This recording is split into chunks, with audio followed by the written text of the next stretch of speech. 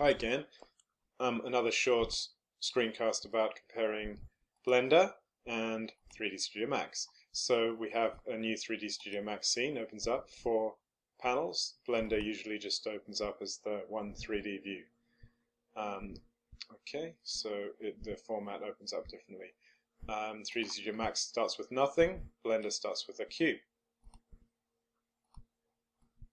To create a cube here give it different segments and height. Okay, because we want to look at the sub-object polymodeling tools in this tutorial, just the ba very basics, okay, as a comparison. So here's the cube in 3D Studio Max, here's a cube in Blender. So in Blender it only has um, eight faces, and one, two, three, six faces, sorry, six faces of a cube, and go to edit mode, and you have to subdivide it. So let's subdivide it down to about here. So that gets fairly similar cube to this. Okay, this isn't a cube now because it's distorted, but you, you can see what I mean. So now you've got the cube. Um, you're in object mode. In Blender you can't really see the faces on there. When you select in Max you can, but at the moment Max is a primitive. Okay, this is very interesting as a primitive, you have to convert it to an editable poly or a mesh or a G-poly patch or NURBS. So I'm going to convert it to an editable poly. So that's taken it to the same state as Blender.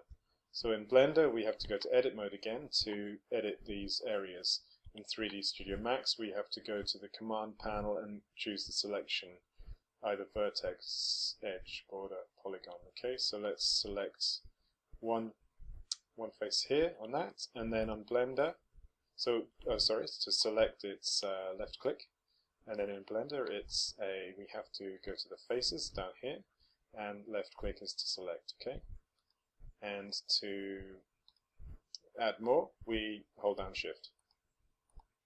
And in 3D Studio Max, we we hold down control.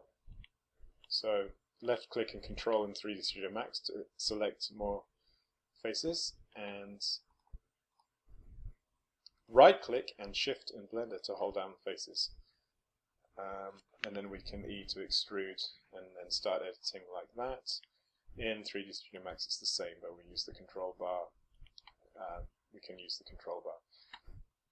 Right, so basically there's your basics of sub trying to get into the sub-object in Max and Blender. I would actually say Blender's kind of easier in the way that you don't have to convert it. It's not. It's just an object. It's not a primitive. It's just a. Well, it is a primitive, but you can edit it straight away. In 3D Studio Max, you create a primitive, and it's not editable. It's only scalable and stuff. Yeah. Um, and then you have to convert it to so it becomes an editable thing. So that's basically it for this one. I'll be making more. Thank you. Goodbye. Good night, or whatever time it is.